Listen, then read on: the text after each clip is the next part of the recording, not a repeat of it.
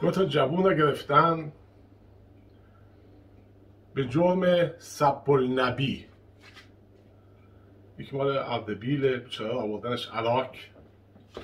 الان هم حکم اعدام اینا صادر شده. آقای دادستان فرمودن که من خودم این تناب رو میندازم گردنت. و دیوان عالی کشورم به قول خودشون تایید کرده این حکم حالا اینا چی بوده؟ سب النبی چیه ما تو قرن 21 راجع به این موضوع صحبت کردن. اولا حالا دیگه جز پیغمبر و امامای دروغین این امامای جدید هم اضافه شده. خامنه ای و نمی‌دونم خمینی هم به اینا اضافه شده. بعد چه جمله اینا گفتن که این سب محصول شده دشنام محصول شده؟ گفت بازار تبریز یه بازاری بود از کلمه اماغلی خیلی بدش میومد یعنی بهش می‌رفتی می‌گفتی اماغلی فش می‌داد و میافتاد دنبالت. یکی گفت آقا من شرط میبندم با شما برم به این بگم اماغلی هیچ کاری هم نکنه. گفتن برو ببینیم چه می‌کنی. این رفت اونجا و گفت حاج آقا سلام علیکم. حاجی هم گفت سلام علیکم. گفت من یه مشکلی دارم شنیدم شما مرد محترمی هستی تو کمک می‌کنید کمک مادی من نمی‌خوام فکری می‌خوام.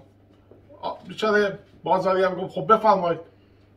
گفت والا من نمی‌دونم پدرم کیه. توی جند خونه به دنیا آمدم مادرم هم فاحشه بود و بعد از یه مدتی هم که من بزرگ شدم منم کشید به کار و منم اونجا کاسبی می‌کردم و خواهری هم داشتم. اونم فاحشه بود و چند وقت پیش من و خواهرم با هم خوابیدیم و الان یه بچه ای از ما به وجود آمده. حالا شما اماغلی میگی ما چه کار کنیم؟ این بازاری اسم اماغلی که شنید خونش به جوش آمد. آمد فش بده گفت چی من بگم؟ بگم دیوس میگه هستم خودش گفته. بگم مادر قهوه خودش میگه مادرم قهوه بود. بگم هر فوشی که به این بدم هست. حالا این سب النبی چه نسبتیه که به اینا بدی؟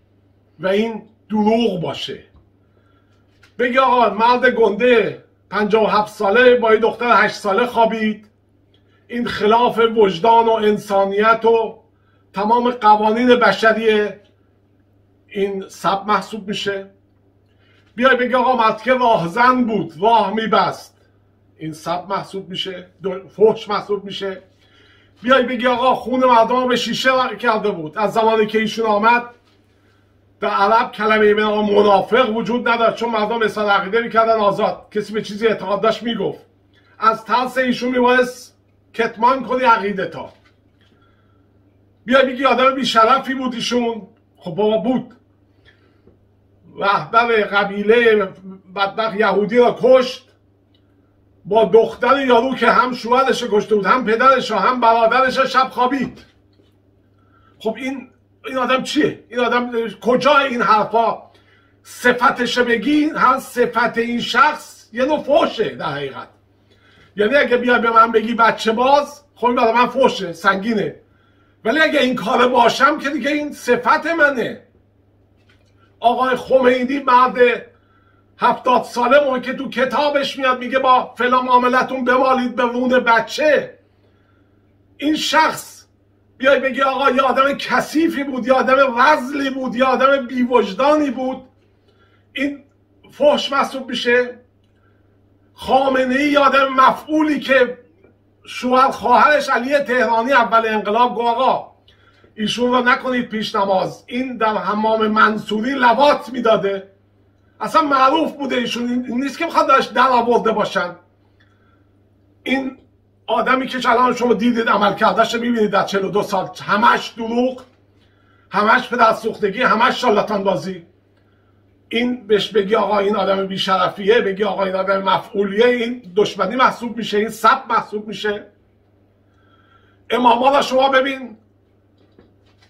آمدن از این رفتن یه عده بدبخت میفرستن به سوریه برای جنگ. میگن دفاع از حرم.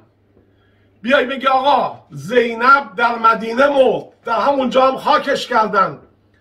این چه ربطی به سوریه داره؟ این داستان ها را 300 400 سال بعد از هجرت یه سری شالاتانی مثل شیخ صدوق و شیخ مفید و شیخ توسی و کلینی اینا درست کردن. شیخ مفید شالاتان کاغذ درست کرده مهرم کوبیده. انگار مثلا امام زمانی است که مهرم داشته باشه که آقا این نماینده منه. خب این آدم شالاتان هست یا نیست؟ موقع که محمد با دو جنگ احد زدن دندونش هم شکستن خودشم گفت آقا من آدم معمولی هستم مثل شما. بعد بیان بگن آقا این با اولاغ پرواز کرده. ما به این شک کنیم بگیم آقا من انقدر احمق دیگه نیستم انسان که نمی‌تونه با اولاغ پرواز کنه. بعد بدن انسان بدون پوشش لباس های مخصوص که نمی‌تونه به بالای جو بره. خب این اگر به شک کنی این میشه سب نبی دیگه. اینا اون شخصیت هایی نبودن که شما درست کردید براشون که این امام اینجور بود اون امام اونجور بود. یه سری آدم های معمولی رو به پایین حتی بودن. شما امام رضا را شما در نظر بگیر. ایشون از یه زن سیغهی صاحب فرزند شد. این فرزند سیاه بود. یعنی رنگ پوستش سیاه بود. همونجور که هم مادرش سفید بود هم پدرش. همه عربا میخندیدن بعد می‌گفتن آقا تو که بچ پسر نداری چون بچه نداشتیشون. جز همین امام جوادی که بعدش آمد. می‌گفتن شما چجور می‌خوای امامت رو ادامه بدی؟ بعد اینم بچه تو نیست مشخص بود. یعنی زن ایشون رفته بود با کسی دیگه خوابیده بود با یه برده چیزی خوابیده بود بچه درست کرده بود. ایشون رفت یه سری چهره شناس آورد که آقا این بچه نگاه کنید ببینید این بچه منه یا نه؟ اونا هم آمدن هر چی گشتن دیدن صورت و هیکل به این نمی‌خوره. گفتن ساق پاش به شما شبیه. خب شما یه همچی افرادی یه همچی شالاتانایی را. ما براشون احترام قائل بشیم. بعد در قرن بیست و یکم بیایم بگیم که ما یه آدمی رو اعدام می‌کنیم اونم سه بار اعدام یعنی طرفا. اصلا وحشتناک تجسم این. بکشی بالا همچی که داشت جون می‌داد ولش کنی. یه نفسی بگیره باز بکش یعنی سه بار به این طریقشون رو اعدام کنی. چرا؟ چون راجع به یه شالاتانی حقیقتی را گفته. یا اصلا حقیقتم نه من اینجور فکر می‌کنم. آقا من نمی‌خوام احترام بر اون شخصی که تو داری من داشته باشم. شما به محمد علاقه مندی من میگم آقا تاریخ چیز دیگه میگه. تاریخ هم اشتباه می‌کنه. من نمی‌خوای زور مگه باید به زور باشه هر چیزی؟ چه بدشانسی ما آوردیم از زمان این حیوانات افتادیم. این شخصی را که یه همچی حکمی را میده اینا رو باید تماما به محاکمه کشید. اول انقلاب من به دوستان می‌گفتیم همون زمان فهیم کرمانی موقع که حکم پرتکاب کردن از کوه را داد ما همونجا گفتیم آقا این شخص باید بریم اعدامش کنیم. که دیگه آخونده دیگه ای جرأت نکنه از این غلط ها کنه. اینا الان دستشون بازه. هر غلطی کردن هر گوهی خوردن در ضعف این 42 سال کسی جلوشون در نیامده.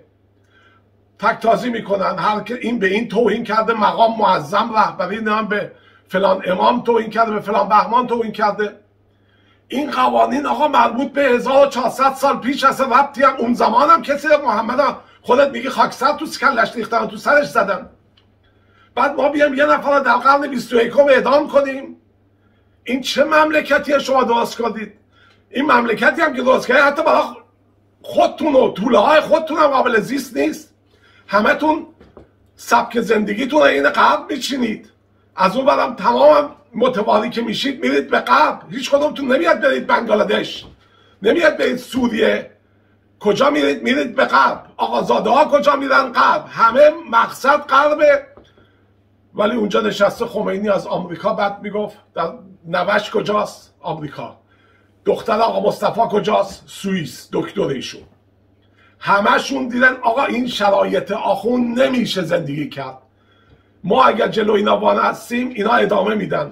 شما مردم به این جرم اعدام کنید بدتری. ما بیشتر فوش میدیم. اگر به این موضوع شما حساسی بیشتر خودتا نشون میدی. بیشتر کسافت بودن این گل هم نزن. نزار مردم بفهمن پشت جریانات شما چیه. یه عمری خوردید و خوابیدید. مردم بازی دادید با داستاناتون. همه هم جل از اون داستان حسین در کربلا بگیر تا خطبه های زینب در مظهر در محضر یزید. آخ زینب یه دختر بدبخت که یازده سالگی با پسر پسر عموش ازدواج کرده با عبدالله ابن جعفر. این اصلا در سطحی بوده که این خطبه هایی که شما می‌خونید خطبه هایی که آخوند رفته توی جایی یاد گرفته اینو می‌خونید یه دختر یازده سال شوهر کرده و پنج شیش شکم زایده و محیط عربستان و موقع اینجور خطابه هایی رو نمی‌تونه به قول معروف از خودش در کنه که بیا تو محضر محضر چیز بنا کرده سخنرانی کرده. همش دروغ. دو تفلان مسلمتون دروغ. علی اسقرتون دروغ. تا 500 سال بعد از این ماجرای کربلا وجودی به نام علی اسقر در داستان کربلا نبود. تمام دروغ تمام پوفیوزی. توف به گل پدرتون که عالم آدم آسی کرد.